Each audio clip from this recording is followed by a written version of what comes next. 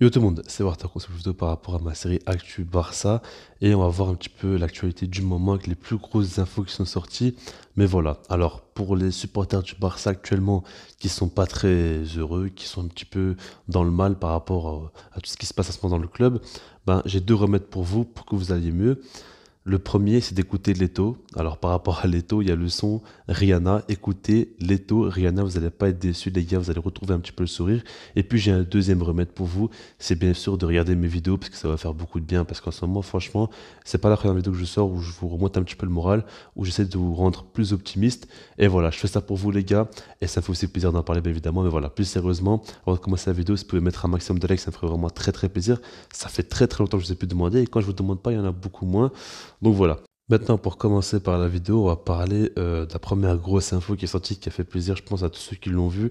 C'est complètement fou quand même, hein. franchement. Je sais pas si on s'en rend compte, mais c'est officiel. Euh, le Barça a annoncé son budget pour la saison 2021-2022 et il est de 765 millions d'euros.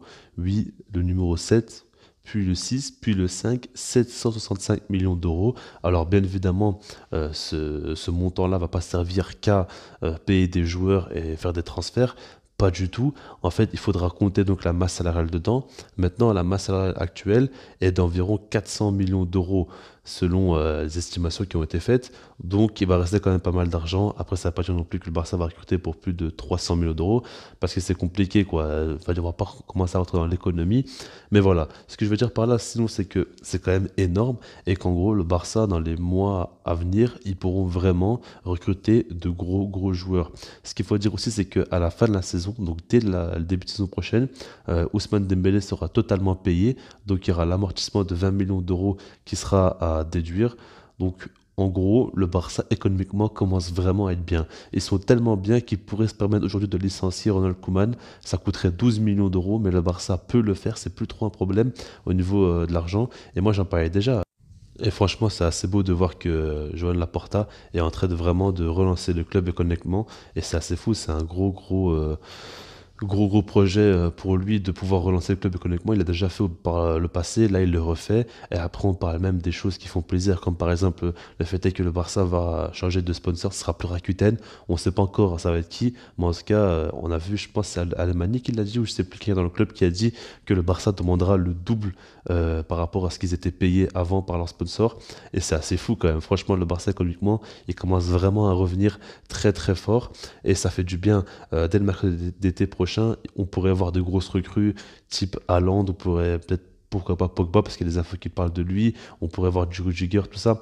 On sait pas trop, après faut pas plus trop rêver, on verra si les joueurs seront intéressés de venir ou non, mais en tout cas le Barça pourrait économiquement les faire venir et ça, ça fait quand même beaucoup de bien pour nous et ça nous redonne un petit peu le sourire, on va pas se cacher, mais voilà. Maintenant, on va parler des joueurs qui vont très prochainement revenir de blessures.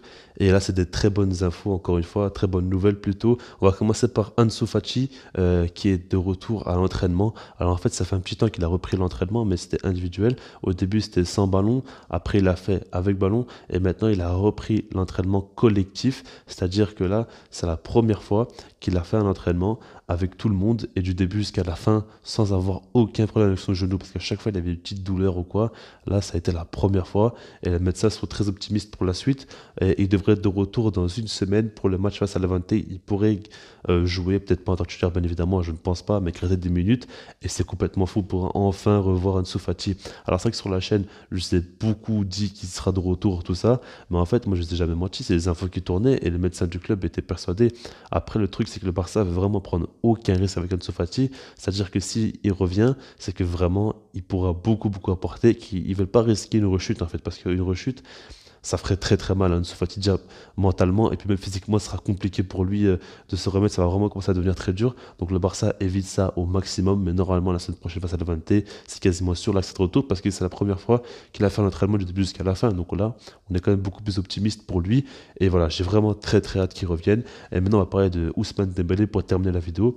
Alors lui Il a repris l'entraînement et euh, ça faisait un petit temps donc il peut entraîner. Là, c'est un petit peu le retour pour lui, la reprise. Maintenant, lui, c'est pas comme Ansu Fati, il devrait revenir d'ici 3-4 semaines. On sait pas trop quand il viendra. Après, c'est possible qu'il vienne plus tôt que prévu ou quoi. Ça dépend de, de son corps, comment il va réagir par rapport aux entraînements, tout ça. Mais en tout cas, Dembélé aussi devrait revenir. Et franchement, j'attends beaucoup de lui cette saison. Je sais pas vous ce que vous attendez de lui, mais en tout cas, moi, j'attends beaucoup quand je vois l'attaque, quand je vois les noms, quand je vois la forme des joueurs comme par exemple des Braithwaite, des Luc de Jong, tout ça. Dembélé nous ferait énormément de bien. Franchement, on a besoin qu'il soit présent cette saison. On a besoin qu'il ne se blesse plus. Et on a besoin aussi qu'il, cette saison, contrairement à la dernière, il marque un certain nombre de buts. Parce que franchement, si on mise tout sur Memphis de paille, ça ne le fera pas. Et donc voilà, moi je compte vraiment beaucoup sur Ousmane Dembélé. Et voilà, j'espère vraiment que cette vidéo vous a donné un petit peu euh, plus d'optimisme pour la suite. Et puis sinon, moi je vous dis peace.